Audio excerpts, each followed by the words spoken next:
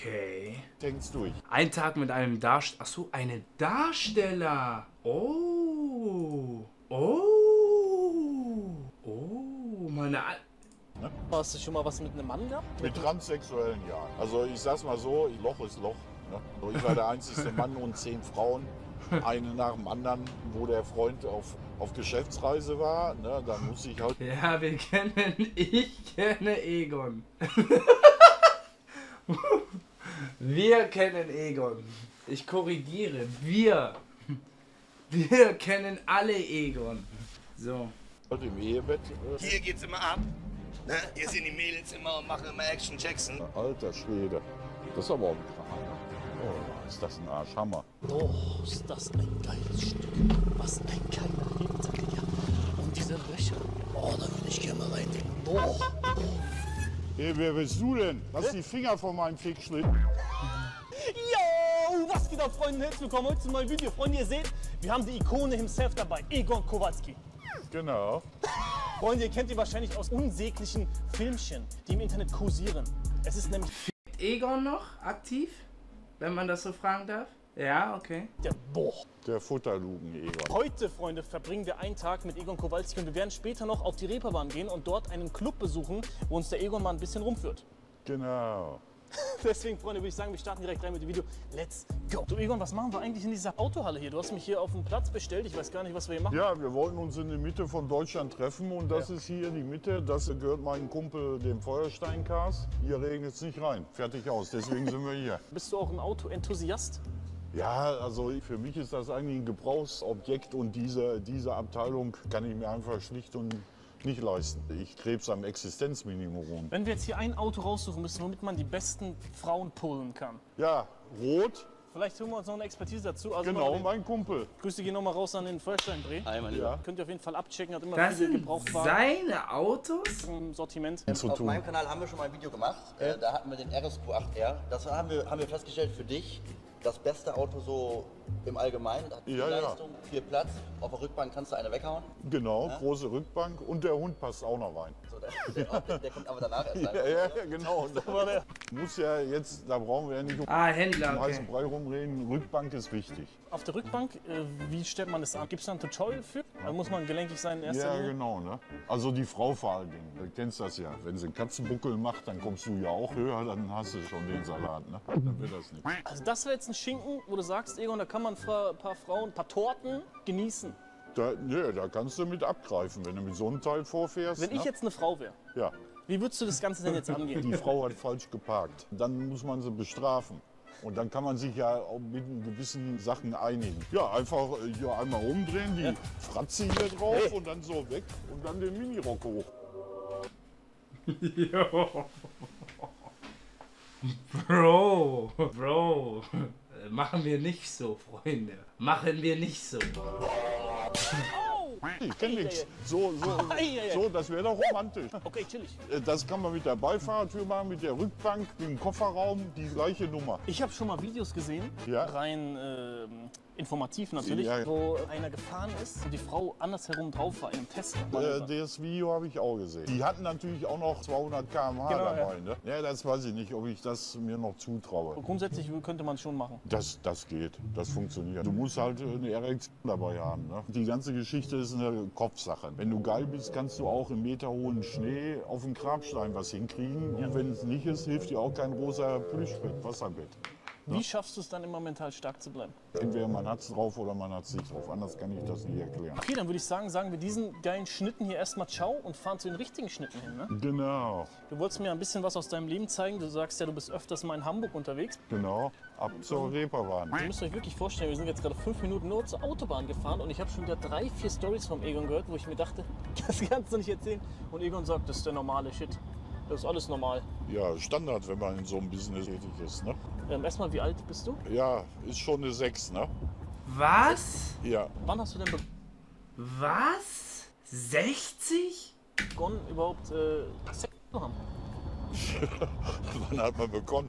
Ja, weiß ich nicht. Mit 15, 16 hat man sich da mal Gedanken drüber gemacht, ne? Und wie war dein erstes Mal? Oh, warte mal, peinlich, glaube ich. Ich habe mit einer Klassenkameradin in Schule geschwänzt und dann hatte ich von so einem Heftchen beim Onkel habe ich gesehen, dass man den, das Mittelbein in den Mund stecken muss. Sie stellte sich ein bisschen spröde an und hat ihn nicht aufgemacht. Da habe ich dann so und so, ich sag, komm, zick nicht rum und bla bla bla. Ja, und auf einmal, Bro.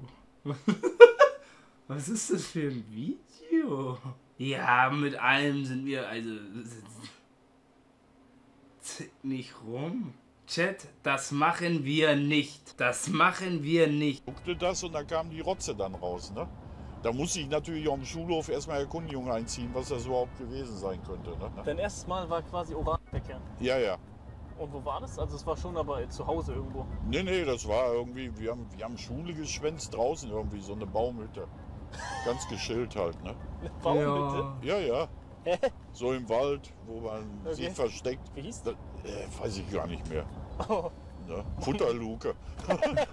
Luke 1. ja, Futterluke 1, genau. Hast du gezählt, wie viele Damen du beglückt hast? Es gibt ja hier so Buddy Count oder so, Ja. habe ich nie gemacht, aber wir gehen einfach mal ganz geschillt von vierstellig aus. Ne? Es ist ja ein hohes Risiko für Krankheiten, ne? Also jetzt muss ich ehrlich sagen, ich mache das ja halt ein paar Jahre. Schwere Krankheiten gibt es nicht. Was? Vierstellig? Er hat einfach mehr als ich auf Konto. Ganz gechillt, hä? Nicht den großen Lachs. In dem Business äh, komischerweise nicht. Ich bin wirklich der festen Überzeugung, wenn ich heute Abend in der Kneipe mit einer Frau mitgehe, fünf Bier und wir gehen nach Hause, da hole ich mir eher den Rotz als wie bei einer Darstellerin. Wie bist du denn überhaupt reingerutscht? Man hat dann Bewerbungen, Bilder gemacht vor der Schrankwand in Tigerunterhose. Das hat man dann zu den Filmproduktionen geschickt und manche haben die dann zum Casting eingeladen. Und ja, was soll ich sagen? Ich habe mich durchgesetzt und bin hier. Warst du schon immer Ja, Legende, ne? Maschine, ne? Qualität. knüppelharter Typ, sag ich mal? In den ganzen Jahren kann ich mich kaum erinnern, dass ich mal abgeschmiert bin. Erektionsprobleme. Ich mache mir auch mal kurz was zu trinken. Bist du Äh, dauergeil? Ja, vielleicht könnte man das so nennen. Darstellerinnen, also Frauen, sieht man das ja nicht an. Die machen ein wichtiges Gesicht dabei oder täuschen irgendwas vor. So. Bei den Männern sieht man halt Geilheit oder das Interesse, sieht man ja livehaftig. Wenn es durchhängt, hängt es durch. Ne? Und dann hast du dich beworben und hast ein Bild hochgeladen. Ja, hast genau. dein erstes Mal direkt mit einer normalen Frau äh, gehabt. Ja, mit einer, mit einer Frau, ja. Hast du aber, ja. Warte mal, hast du schon mal was mit einem Mann gehabt? Nee. Nee. Könnte ich nicht. Und mit einer- ich nicht. Mit Transsexuellen, ja. Ja? Ja, ja. Und wie war das? Ist das dann der Gedanke, dass man denkt, es ist eine Frau? Oder ist Nee, die sind ja dann umoperiert mit Brust, äh, die Hormone nehmen und das ist, da lege ich Wert drauf, dass sie auch ein bisschen feminin sind und das, da, das, aber dann mache ich hast so du ja, klar. aber dann hast du ja noch etwas da rumschlagern. Wenn dann der Kopf da einmal nachdenkt, Nee, das, äh, da, da habe ich kein Problem mit. Also ich sag's mal so, Loch ist Loch. Ne? also ja, was ja. war denn die älteste gewesen? Zehn Alpha. Kennt die Leute, die sagen, ja, das, der ist noch real. das ist noch ein Realer. Tage Tschechien und die haben dich nur mitgenommen, wenn du die ersten zwei Tage Omas machen konntest. Ne? Und wie alt waren diese Omas? Ja, ja, so das Oma, es ging bis äh, zwischen 70 und 80 halt. Ne? Also ich glaube, bei den Omas, die ich hatte, da kam's, konntest du froh sein, wenn du lebend aus der Szene rauskam, weil die hatte ich richtig Maß genommen. Die hatte ich gepackt, Erfahrung. Bürschchen, komm her und dann war es. Wenn du jetzt mir eine Anleitung geben würdest, wie man eine Frau richtig beglückt, wie macht man das? Also, Mit denen ich Kontakt habe, die suchen alles außer einen Lappen. Und wenn du schon so weinerlich bist und so, so weich, da können die nicht drauf. Würdest du sagen, ich bin Lappen? Ja, weiß ich nicht. Äh, äh, Das hat alles. machst mir den Eindruck, so ehrlich gesagt. Ne? POV Egon Kowalski nennt dich Lappen. okay, Bro. Das, ich habe so das Gefühl, dass du jetzt eine Nacht mit einer Frau hast und dass du dann morgens so hingehst, hier Prinzessin, ich habe dir einen O-Saft frisch gepresst und so. Weißt Aber du, das so ist doch der Inbegriff von Männlichkeit. Das, doch ist die. Männlichkeit. Pass auf, ich sag dir das jetzt meine Philosophie. Achtung, die Achtung. sagt das natürlich mit ihrem Freundin. Weißt du, Ja. erzählt die dann, ich hatte gestern einen süßen Typ, super Nummer im Bett, der hat dann O-Saft frisch gepresst und ganz süßer. Die sagen alle, oh toll, aber glaub mir, das würde die so ankotzen, wenn du jeden Sonntagmorgen mit deinem bescheuerten O-Saft ankommen würdest. Die Das- brauchen einen ganzen Kerl, wollen mal ein paar Probleme haben. Wenn du so aalglatt und weich bist, Ja, da verlieren ich die ja das nicht. Interesse an dir. Entweder man ist ein Kerl oder nicht. Ja, was privat da bei mir ist, das müssen wir ja nicht sehr ausdiskutieren. Nee, das äh, gehört ja nicht hin. Nebenbei, wundervolles Getränk. Ja, Du hast es ja sag- auch schon mal probiert, Ja, ne? ja, ich sag, äh, ich mache in meinem Podcast auch Werbung dafür und äh, wir sind da einer Meinung. Das taugt was, mundet. Das richtig krasse daran ist auch übrigens, dass es zuckerfrei ist. Das habe ich Genau. nämlich die ganze Zeit unterschätzt, Ja, weil ihr ja. könnt das wegsippen wie sonst was und ich schwör's euch, das schmeckt krass. Wir haben hier Raspberry gerade am Start. Bruder, Raspberry knallt ja alles weg. Und wenn ihr keinen Bock auf Wasser habt und sowas, einfach mal Holy probieren. Da möcht ihr euch Einfach Vita-Welt holen. Einfach eine Tube von diesem Pulver. Kann man übrigens auch so naschen. Nee, das habe ich noch nie probiert. das sieht ein bisschen komisch aus. Warte, ich nehme mal hier so eine Prise. Wenn ihr jetzt Bock habt, genauso wie Egon, eines der Holy-Produkte zu testen, dann geht jetzt auf weareholy.com und gebt den Code TOMSUP. Das taugt was. Und was ich auch gesehen habe, wir haben hier auch noch eine Collabo. Theorie macht mich so, da geht's nochmal Wie Drehs in Südafrika. Der Dreh, den du gemacht hast. Ich kann das ja immer belegen, was ich erzählt habe. Also war da zum Beispiel Drehs in Südafrika. Hast du mit einer äh, farbigen Frau gedreht? Ja, mit vielen da, ja, ja. Wie viele waren da? Ja, weiß ich, zehn oder so. Ne? So, ich war der einzigste Mann und zehn Frauen. Eine nach dem anderen. Die zweieinhalb Stunden ging das im Pool, im Bett und so weiter. Also das, das, das ging an meine Grenzen. So, das vergisst man natürlich nicht. Ne? Ja, das sind schon Narben, ne? Das hinterlässt auch Narben, ne? Äh, das, äh, da zeichnet einer auch halt die Zeit, ne? mit dem mit Aber Bruder, dass der zweieinhalb Stunden marschiert, krank. deinem Kollegen hier schon gequatscht. Er meinte, dann haben dir wirklich 18-jährige Frauen geschrieben, dass sie mit dir mal gerne in die Kiste hüpfen wollen. Ja, ja, die, die hatten so über Instagram halt so blöd gepostet, ich bin jetzt hier markiert. Und dann ging das, während wir da im Hotel saßen, ging das dann los. Wir sind in der Nähe, können wir nicht ein Foto haben, wir können auch ein bisschen vögeln und bla bla bla. Ne? Und das äh, war nicht zu knapp. Dann gibt es also Frauen, die einfach nur dir Sex haben wollen und danach ist wieder egal. Genau, danach ist wieder egal. Wenn jetzt so eine Frau Auch Legenden. und äh, die aber vergeben ist, machst du das dann Also Egon Kowalski ist auch ein RP-Charakter. trotzdem? Also, Ja, ja. also ist sowas Bro, wie krank ist das, dass denen so 18-Jährige schreiben, dass sie kurz durchgenudelt werden wollen? Ah, Bruder, das, das ist fernweg. Also, Digga, das ist krank. schon mal vorgekommen. Ja, natürlich. Wo der Freund auf, auf Geschäftsreise war, ne, dann muss ich halt im Ehebett. Äh, Es gibt ich bin ja nur in die Falle reingetappt. Ne? So, würde ich komischerweise, jetzt wo wir gerade von dem Ehebett reden, wenn wir uns im Hotel oder so getroffen haben, wenn der da war, Ja. da gingen die nicht so ab wie im Ehebett, ehrlich gesagt. Ne? Oh, das das war ja auch ihr Kick wahrscheinlich, ihren Typen so zu War das bescheißen. ja, ne? war das dann äh, eine hübsche Frau? Also, ja, ja, Granate. äh, während ich mir hier nochmal einen mixe, Ja. Will ich noch mal was fragen zum Thema Wichse. Okay, cringe. Ja gut, währenddessen teste ich noch mal den neuen Geschmack. Das hier Blueberry und hat Energy mit drin. Bei den Eistees zum Beispiel haben wir Vitamine und Antioxidantien drin. Äh, Drehpausen. Doch. Ne? Oder, Köstlich. ja, boah, ich weiß, das schmeckt das Zeug. Boah. Kann ich einmal ein richtiges Doch. Boah, hast du einen geilen. So angekommen an der Reeperbahn, du wolltest mir mal ein bisschen zeigen, was Ja, hier ja. so geht. Hier sind so die Ecken, wo ich mich immer mit ihnen am meisten rumtreibe. Meistens schaffe ich es immer nur bis hier hinten, glaubst du aber da steht er am Eingang. Hier enden wir meist immer. Ne? Hi, Ingo, alter Knochen. Alles Hi. gut, Mensch, was Hier. Hallo, Hier. Ingo, mein Lieber. Ich wollte mal hier, Was? Ingo, mein Lieber. Ingo, alter Knochen. Alles Hi. gut, Mensch, Hier. ab? Hallo, Hier. Ingo, mein Lieber. Ich wollte dir mal hier, wo ich Bruder, das ist doch nicht seine Stimme. immer ab, abhänge, abend, weißt du, wo ich versacke. Wollte ich mal zeigen. Mal Ja, gerne. Ja, ja. Komm rein hier. Ingo, naja, komm mal, komm mal rein, ne? Kannst du auch mal was wegstecken, ne? Mal so, ein- so ein richtiges Futterloch. Ne? Mal gucken, ob du mal, ob du mal länger kannst als zwei Minuten, ne? Und was ähm, ist das hier für ein Laden erstmal? Hier, lass dir alles von Ingo erklären. Ja, Moin, mein Name ist Inkasso Ingo von der Reeperbahn und wir sind jetzt hier in der Nummer 1. Warum lasst ihr denn jetzt? Okay, mach erst. Wir sind in der Nein, nein, nein. Das, nein, das meint er nicht ernst. Das meint er nicht ernst. Oder kann sein, dass Sabex sein verschmuddliges Streamingzimmer verlassen hat und auf einmal ein Hausbesitzer an der Reeperbahn ist. In FIFA würde man klas klassisch sagen, Sabex hat eine Inform. das ist eine Sidequest von ihm. Oh, oh, okay, okay, okay. Nummer 1 im Susis. Susi Schober. Kann man hier auch für Das Geld erste Mal im Rotlicht oder was, ne? zum ersten Mal hier auf jeden Fall. Das ist hier Table Dance, Striptease. Ne? Hier geht's immer ab. Ne? Hier sind die Mädels immer und machen immer Action Jackson. Das Ding dreht sich noch und dann kannst du dich hier vorne hinsetzen mit ein paar Dollars und dann steckst du dir was zu. Ich habe manche Gagen hier schon verballert drin. Kannst du hier holen, setz dich nach vorne. Seid ihr nachher dann auch noch da? So, komm, Ned, ich zeig dir noch mehr hier. Ja, Egon sitzt immer hier in der ersten Reihe. Der lässt das hier auch immer knallen. Jetzt hier eine Dame tanzen siehst, ähm, gehen da manchmal die Gefühle ein bisschen durch und du denkst dir, Ja, da wäre ich romantisch. Dann zwinkert er mich zu. Sag ich, komm, Egon, ich merk schon an deinem Blick. Ja, ja. Ich habe gerade das Gefühl, das ist eine Simulation, ne? sie geht ins Separé und er kriegt da von mir seine Ecke.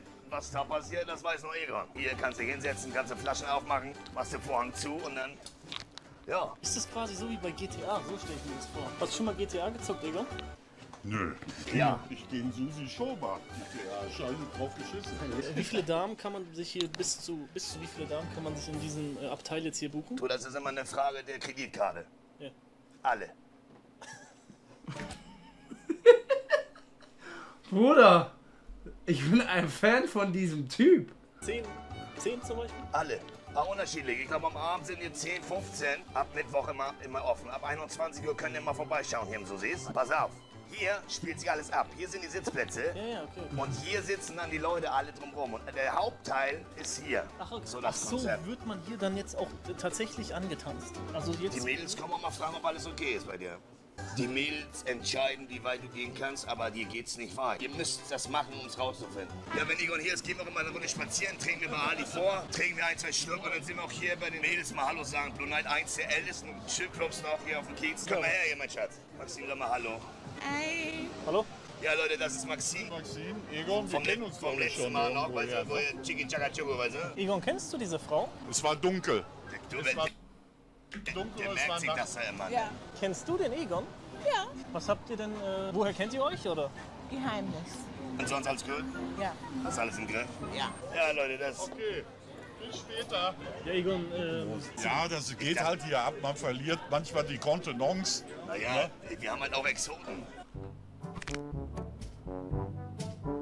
Du, pass auf, wenn, wenn ich hier abgebechert habe oder so, Digga, es ist gerade alles eine Simulation. Da gehe ich dann zum Absacker hier noch in den Elfschosskeller. Ne? Ist ja eigentlich auch deutschlandweit berühmt. Ne? Hier ist halt 24-7 geht's hier halt ab. wird hier getrommelt. Können Sie nochmal. Su paukščiai su saulė per žemę einu.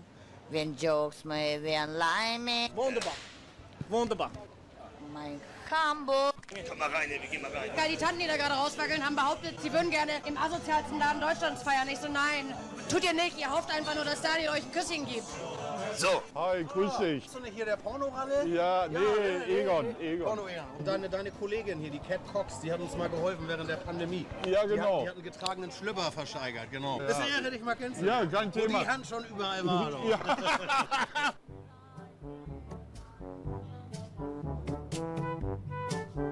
Ja, siehst du, so treibe ich dann, vertreibe ich meine Zeit hier immer, ne? Hier, nette Mädels, guck dir mal das Sahneteig Oh an, mein ne? Gott. Alter Schwede. Das ist aber auch ein Kracher, ne? Ja, Wahnsinn, ja. Bist neidisch, ne? Ja, extrem. Also ich kann mich. Jetzt mache ich mal ganz anders Promo. Guck mal hier den Hintern an und vor allen Dingen, guck mal hier. Hm. Oh, ist das ein Arsch, Hammer. Leute, Oh. oh. Oh, ist das ein Arsch. oh, ist das ein Arsch, Hammer. Leute. Ja. Da bist du blass, ne? Ja, jetzt kann man den Damen einfach ähm, Geld zustecken Ja, ja. und dann äh, werden sie auch bereit, einen Private-Tanz zu machen. Dann geht's ab. Ich habe sie schon gebucht. Die tanzt nur für mich. Das war ja interessant. Ja, also ich hoffe, der kleine Rundgang hier, mein, meine zweite Heimat hat dir gefallen, ne? Ich bin verstört für mein Leben, aber es war interessant. Und checkt auch nochmal Egon seinen Shop ab. Kowalski-shop.de. Mein Podcast, die zwei von der Frittenrennen. Stimmt. Da rede ich über meinen Beruf so ein bisschen. Checkt das Ganze mal ab und lasst ein Like da bis zum nächsten Mal und Crazy Ding. Digga, er war für mich, hätte ich seine Bandy-Stimme, wäre wär crazy.